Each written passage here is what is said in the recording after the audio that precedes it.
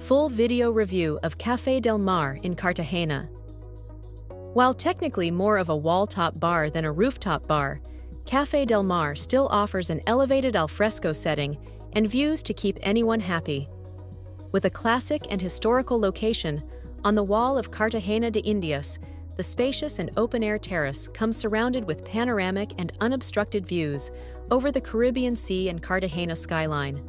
Always beautiful, but extra fantastic around sunset. Open 365 days a year, Café Del Mar serves a wide range of tropical cocktails,